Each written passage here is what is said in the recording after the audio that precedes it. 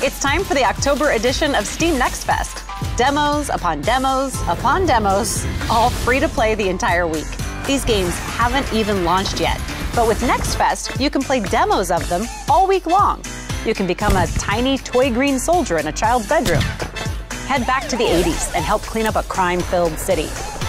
Get cozy while saving a struggling boba tea shop. Be a vampire and manage a bar. Because, of course.